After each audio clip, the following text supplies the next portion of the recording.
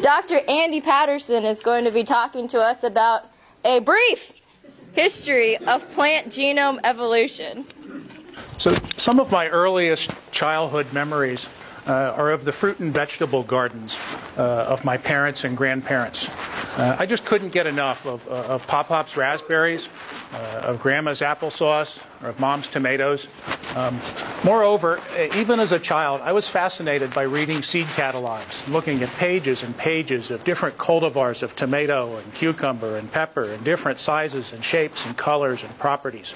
Um, uh, this interest in, in, plant genetics pervaded my education. As a graduate student, I learned how to breed crop cultivars. As a postdoc, I learned how to apply DNA tools to accelerate breeding of crop cultivars.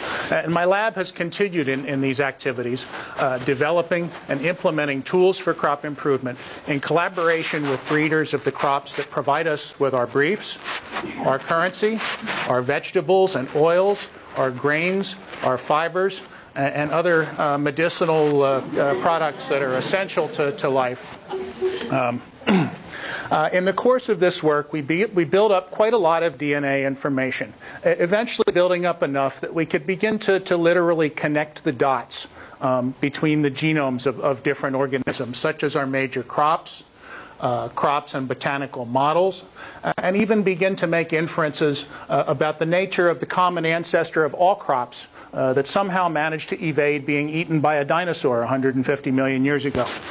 Um, uh, through the course of this work, um, we found again and again uh, the importance of a phenomenon called polyploidy, which is a genetic accident uh, that results in a genome being multiplied twice or three times or four times or sometimes even five or six times or more, literally overnight.